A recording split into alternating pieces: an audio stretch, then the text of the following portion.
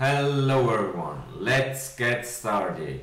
Take two for my video regarding the breaking news, my insights I had finally, which basically, I can tell that now already, reassures me that I have made 100% the right decision to invest into XRP.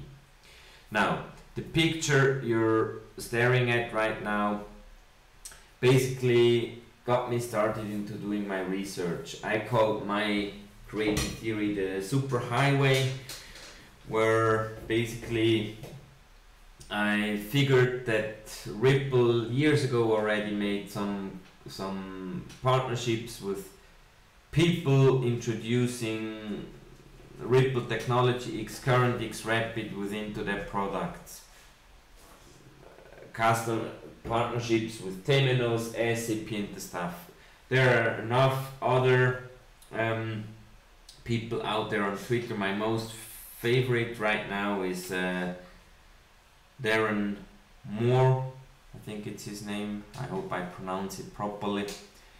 Um, anyway, that was basically the kickstart of my research. However, I always wondered how the hell will it be that XRP will be in the center of all ILP connections. This is something I basic which failed on me to to kick my brain, okay? Now the whole community is basically waiting for banks to announce eventually using XRapid, which we all know makes use of XRP to source liquidity. Why has there still no banks been announced using XRapid? Interesting question. Another interesting quote from David Schwartz made me think XRapid was not built for banks. Hmm? What are we waiting for then? Then I stumbled across some interesting discussions around privacy requirements from banks. Literally nothing can be known about their transaction, not the details of the sender and receiver, not details about the payments, like rhythm, amount of money, whatever, nothing. But by using XRP or XRapid, as soon as X, XRP is being transacted, it'll be written onto the public ledger and thus I thought with enough artificial intelligence applied over time it could be tracked that some wallets or accounts may belong to JP Morgan, other to others to, to Bank of America and thus you could tell the public eventually over time how much money JP Morgan sends Bank of America. A total no-go. So I ask myself, but how can then the such information be totally hidden on the XRP ledger? Some say it can be. I think, I believe it cannot. It's not possible. There are APIs which let you explore everything uh, account balances, transactions based on those accounts. Literally everything is written on the ledger and is publicly available. I knew, however, ILP, Interledger Protocol, encrypts all transactions. Maybe the solution lies within ILP. Up to now, I thought ILP only works within the same fiat zone, or if Nostros exists, on the other side, in the other fiat zone. But Nostros are exactly what we want to get rid of with XRP as a bridge liquidity. So where comes XRP into play? Then I came on to another interesting question because I knew ILP was supposed to work in the following example. You send Bitcoin and the receiver receives Ethereum or whatever other digital asset. But how would that work? The only explanation is someone sells Bitcoin, receives fiat, buys with that fiat Ethereum and, and moves the Ethereum into the appropriate target address. Okay, so that was my thinking about how ILP could help send something and receive something else. Basically with XRP it's the same approach only the other way around. You would buy XRP with fiat, send the XRP and then sell XRP to receive the other fiat.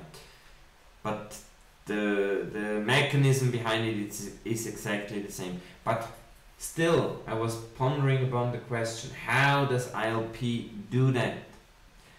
So I gave ILP another look and indeed in its latest version of ILP description in the section of ILP packet lifecycle in step 5 I stumbled across the following sentence.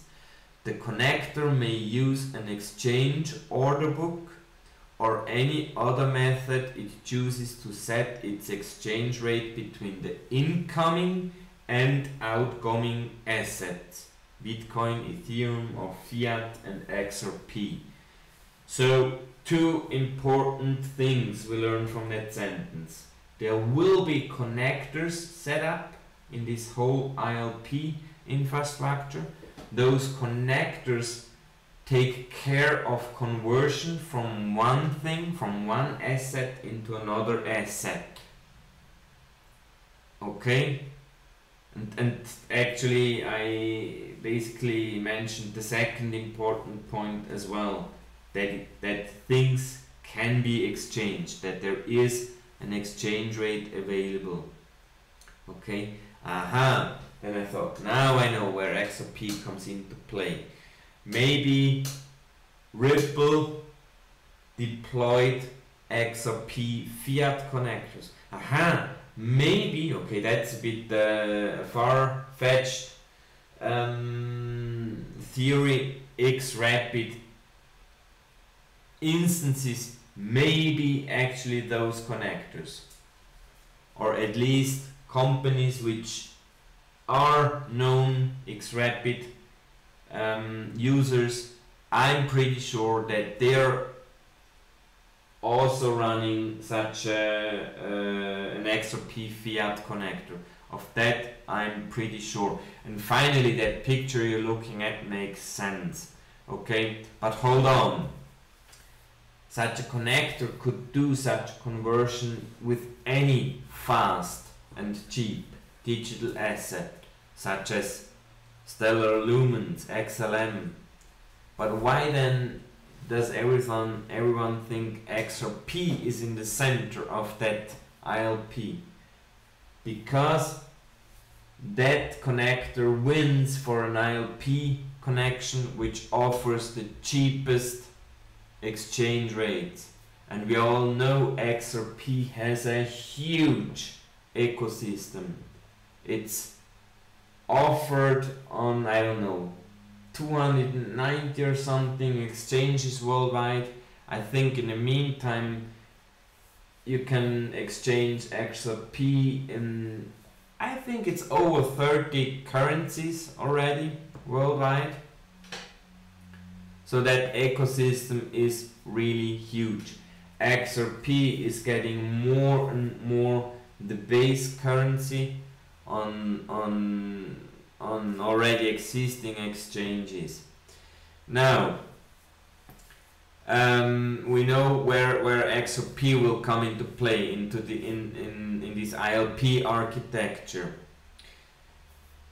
Now coming back to, to Ripple, why then is Ripple basically telling us about xCurrent users, XRapid users, and why are they actually doing that when the whole thing basically would be enough to basically produce these connectors without us even knowing it. And I think they're basically ramping up the ecosystem. For those guys, if you are a little bit older already, the er very, very early days of internet, when internet basically didn't exist, but what did exist was these services, I don't know their names, AOL, CompuServe and many others you had a phone number, you dialed up with your modem, and then you were in within their realm. You could only see content produced within CompuServe when you were a CompuServe customer, or when you were an AOL customer, you could only see AOL content. Only by introducing this HTTP protocol, it made it possible to merge everything, and all of a sudden, it wasn't important anymore through which, from then on, called ISP service provider, you were connecting to the internet because the HTTP protocol basically made it possible. But first, we needed these AOLs and CompuServes all around the world so that users actually could log on somewhere. And with the introduction of the HTTP protocol, the whole world basically merged into one global data exchange world, which we today call internet or world wide web at that time. Okay. Lastly, one for me important now is not anymore how many Ripple net customers we have because I think there are more and others have proved pretty well. It'll be hundreds if not thousands of financial institutions which are on the Ripple train. But I think and I'm 100% sure about that it's not important if a company is using Ripple technology or not. It's use it's important to know they are using ILP to connect with other ledgers and we know that connector with the cheapest exchange rates for fiat wins and in 95 or more percent of the cases this will be XRP and because it's just a protocol there is no need to change hardware infrastructures. It's just software. Believe me that change into that ILP enabled world as we see in that picture you're staring at will happen fast. Very fast. With that I wish you a nice evening or day wherever you are.